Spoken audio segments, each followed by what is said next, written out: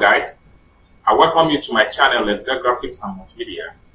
My name is Rafi Yako, and this channel content has to do with CorelDRAW, Adobe Illustrator, and Photoshop. If you visit my channel, all you have to do is to make sure you click on videos. And when you click on video, you'll be able to see my present and past tutorial in CorelDRAW, Photoshop, and Adobe Illustrator. So all you have to do is to scroll down and see my tutorial. All these tutorials been made for basic to advanced in CorelDRAW, Adobe Photoshop, and Adobe Illustrator. All you have to do is to watch the video, learn one or two things, and if you have any question as far as my tutorial is concerned, put your question in the comment section down below. And also, don't forget to subscribe to the channel when you visit. So let's get the tutorial started.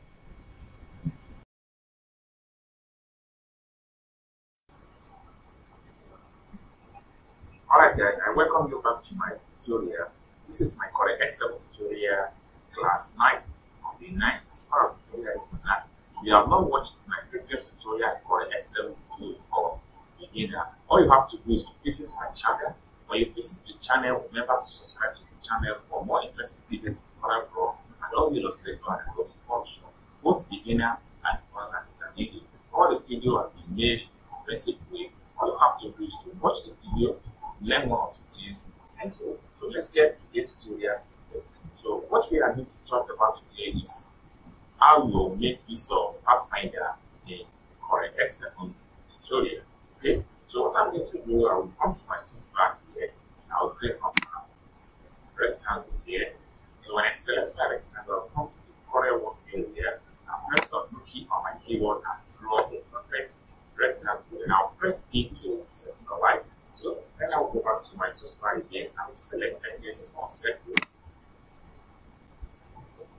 Then when you look at the shape property here, you see that we have different form of circle. So I'm going to make some first one here.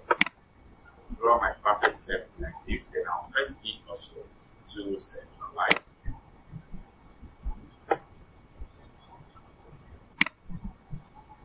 I'll press Shift and click on the second second uh, shape so and drag everything this now. To make use of our Pathfinder in Corel you have to make sure that you click on the two shape at the same time. But what you need to have in mind is that you need to click on the first shape then you press that shift key on the keyboard on the second shape. So having done that some of the action will appear on Corel Draw menu these are the things we need to talk about as far as Pathfinder tutorial is concerned for Excel. So having selected two now, I will start from combine. When you click on combine or you press Ctrl L on the keyboard, you're going to have the combine function. This combine simply means that when you click on the when you select combine, it's going to match the shape together. That's the meaning of the combine. Then if you apply color, it's going to fill the color but the center point of the shape is going to remain empty. So I'm trying to point out here is that let me quickly make the background to complete the rectangle here to make a page border. Then I'll apply the black color. So you can see here that we have an empty space in the center of the shape. That's the meaning of combine here. Uh, combine of the shape in color. I'm going to this I'm going to remove it. So let's look at another shape. I will click on my rectangle shape now. And I'll make the perfect rectangle again. Then I can press Ctrl D to make it replicate this. I'll make it like this. Right? So what one other thing I will do is I will press Shift E again and get on this. Now we have our Pathfinder option and then over again. So now the next one here is what we call weld. Click on the weld, going to combine the two shapes together and make it one less. You can see now that everything becomes one. When you fill the color, you're to have a sample, a rectangle shape. Okay? You to press Ctrl Z to complete everything. Now, come back to our shape. Then I'll press Shift key on my keyboard and click on the second shape. Let's take a look at the next option as far as our Pathfinder exam. So this time around, I'm going to make some intersect.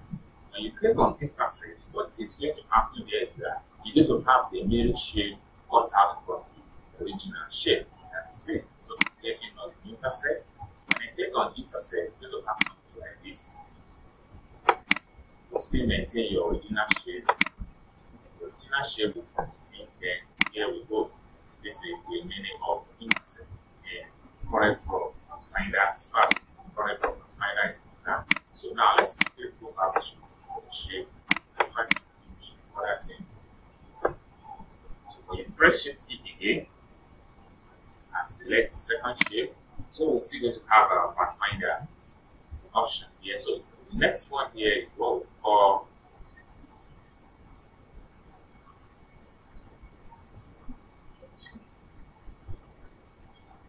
So the next option here is what we call simplify. When you select your simplify, something like it will combine like two shapes together and form a single angle. So now if I'm clicking my simplify here, so you can see what I have as a result.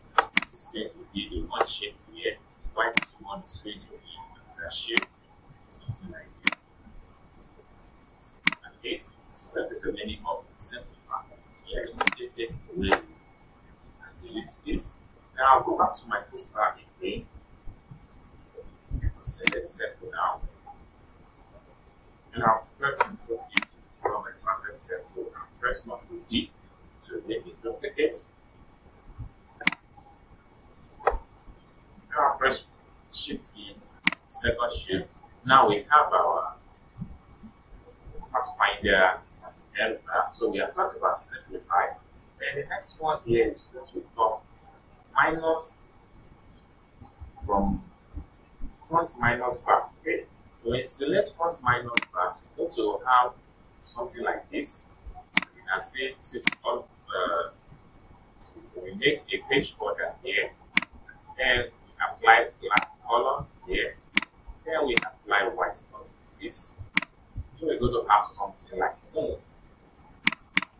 That's it. So let me delete it So go back to our and select another sample here. Then press B to make a duplicate and uh, press Shift E and select the second shield. So menu bar we're going to have the other option. So this time around we have so we are talking about front minus back. So this time around, we're going to have back minus front. That is, we want to subtract from the back in the front. So you have something like opposite of what we have when we make use of subtract from the front. So this is exactly what you're going to get. Okay, so let's get it. So if we go back to our shape tools again,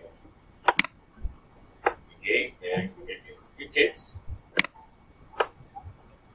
Shift key and click on the second shape. So now we have the last one here is what we, what we call the last one here is what we call create boundary as far as this current tutorial is concerned.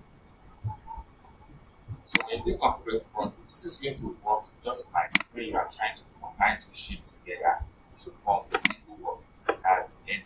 So we still have the shape left out, then we can make a delete and have something like this.